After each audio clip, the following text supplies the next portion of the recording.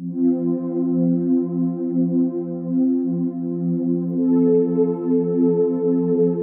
Welcome, my name is Janine, and in this video, we're going to review how to find the constellation known as Triangulum. As I was learning about this constellation, I was really surprised to find out that it is actually an ancient constellation. I thought it would be one of those that would be one of the more modern ones that was created in the 16th and 17th centuries. But this one dates far back in civilization, so we're going to review a little bit about the mythology of this constellation and how to find it. Before we begin, I wanted to share with you that I recently updated my website and I wanted to share it with you all. If you are new to stargazing, you might enjoy the free digital stargazing guide I created. It has a 2021 moon calendar to help you plan your stargazing adventures, as well as some ancient and modern constellation charts, seasonal overviews, and more stargazing tips. Also, be sure to check out some of my free lessons and new classes I've recently released if you want to expand your stargazing experience. Now let's get a broad overview of the constellation known as Triangulum, the Triangle. It is an ancient constellation and has been identified by ancient Mesopotamian, Babylonian cultures, Greek, Roman, and Chinese cultures. The name Triangulum is Latin for triangle, and it was recorded as one of Ptolemy's 48 constellations in the second century.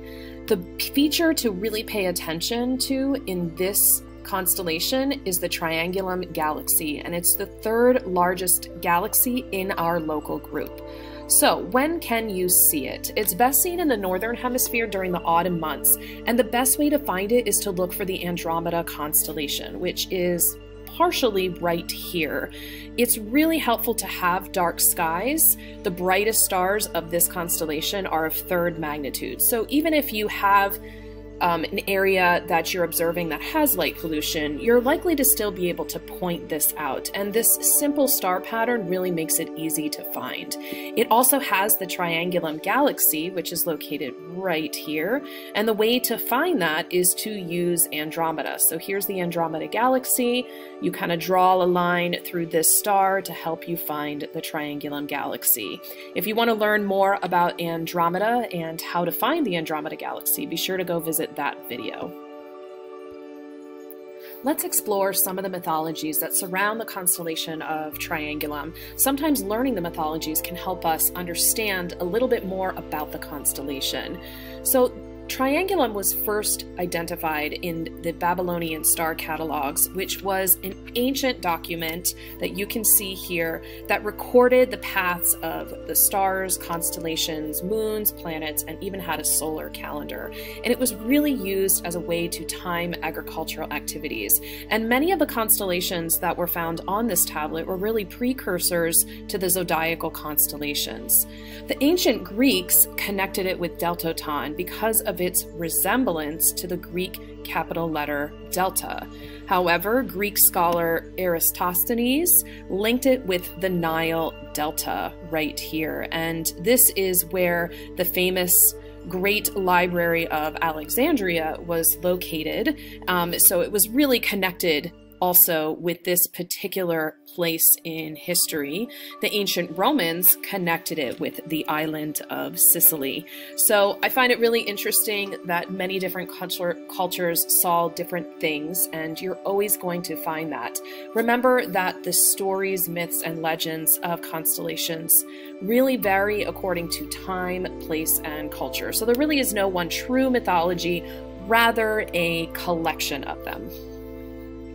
Now we'll explore the star pattern of Triangulum. So here we have the official star map of this constellation released by the International Astronomical Union. And there's a few things I want to bring your attention to. First is you probably notice the red objects that are here, and these are galaxies.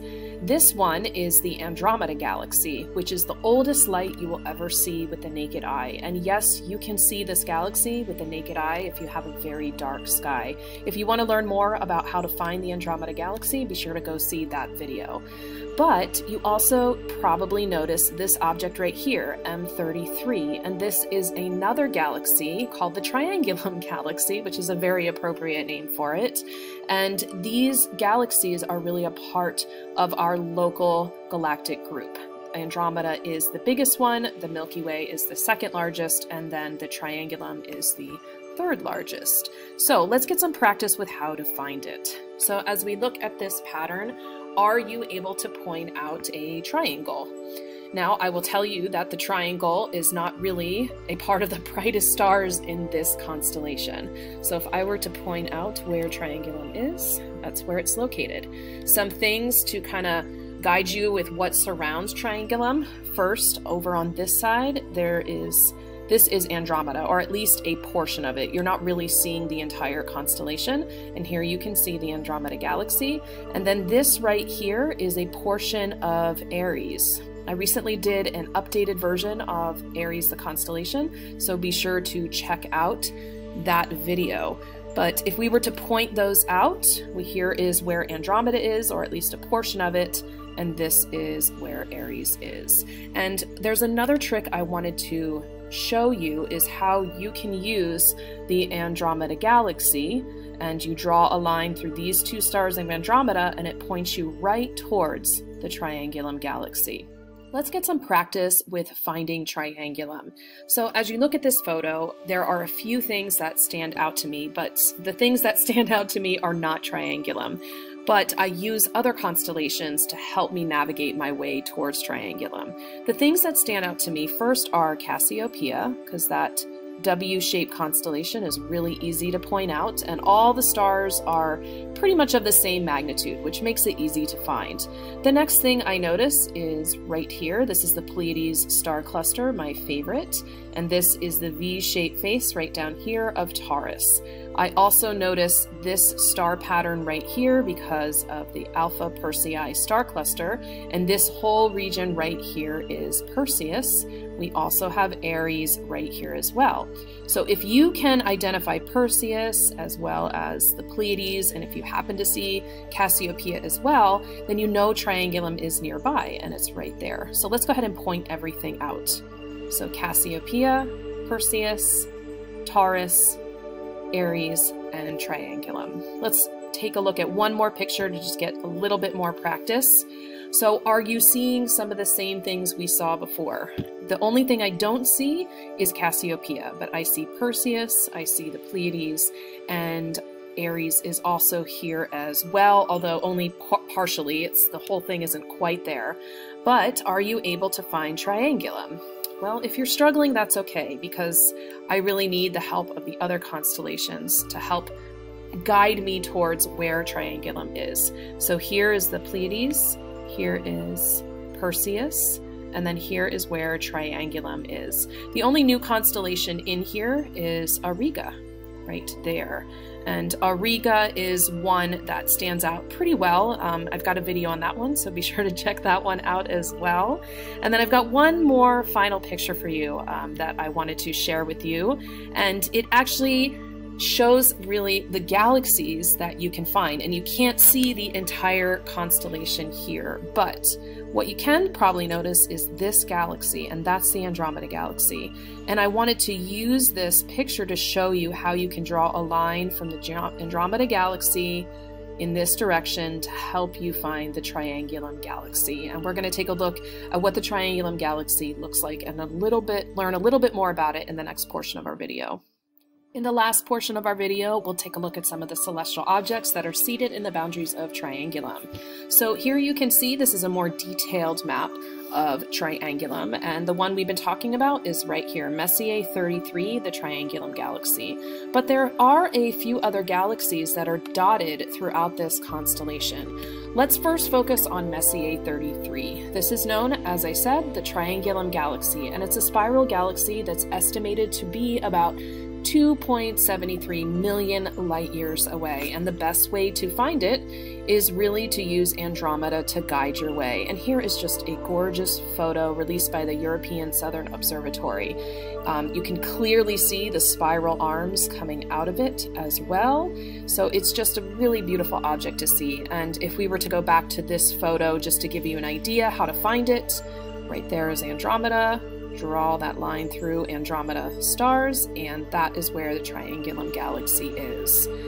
So, what's interesting is that eventually The Milky Way, Andromeda, and Triangulum will all be on a they're on a collision course that will happen in 4 billion years. So these these three objects in our universe are moving towards each other. The next galaxy to find is called NGC 925. This is also a spiral galaxy, but much further away at 30 million light years away. It's of magnitude 12, so you definitely would need magnification in order to find it. We've come to the end of our video about Triangulum the Triangle, so let's review everything we've learned so far. It's best seen in the autumn months in the northern hemisphere, and it's classified as a seasonal constellation because the moon, sun, and planets do not pass through its boundaries. The best way to find it is to use the other constellations that surround it, such as Andromeda, Aries, you can use the Pleiades, Perseus, Cassiopeia, but just know that all those constellations I just mentioned are most likely going to be brighter than Triangulum. But even though it's a fairly dim constellation, it's one that is fairly easy to point out because of everything that surrounds it. You can also use the Andromeda Galaxy to help you find the Triangulum Galaxy, which is part of our own local uh, galactic star cluster group. This is also known as Messier 33.